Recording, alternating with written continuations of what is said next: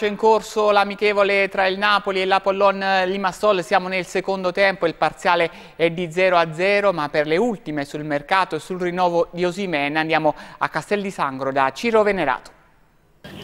Buonasera dallo stadio Patini, Napoli in campo ma società molto attiva sul mercato. Oggi infatti è stata la giornata di Osimen, tantissime le voci, le indiscrezioni e anche le parziali conferme. Ci siamo.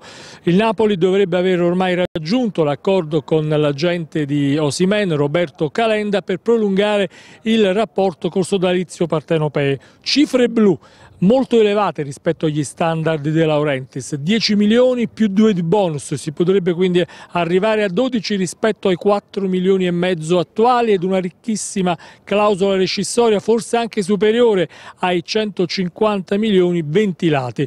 Quasi, sicuramente poi ci sarà un'altra clausola quasi raddoppiata per l'Arabia e sui diritti d'immagine un passo avanti del calciatore e due indietro del patron per cercare proprio di dirimere la querel col nigeriano che quindi firmerà questo contratto e poi fra un anno sceglierà il suo futuro probabilmente in Premier più che in Arabia o al Paris Saint-Germain. E poi c'è anche un'altra notizia che arriva più o meno anche dalla formazione che Garcia ha mandato in campo. Anche Piotr Zelischi ci sta ripensando e potrebbe rinunciare ai 15 milioni arabi per rimanere a Napoli per molto meno. Si chiama scelta di vita, ma questo non esclude la possibilità di un altro investimento sullo spagnolo Gabri Vega che attende solo una chiamata del Napoli per sbarcare in Campania.